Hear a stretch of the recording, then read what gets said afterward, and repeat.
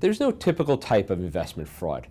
Throughout my career, I've seen many different types of securities and investment frauds.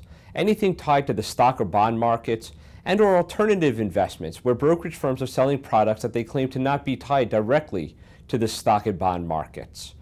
The typical securities frauds, though, involve cases where the financial advisors or brokerage firms are selling products that have financial incentives for them without being in the best interest of the customers.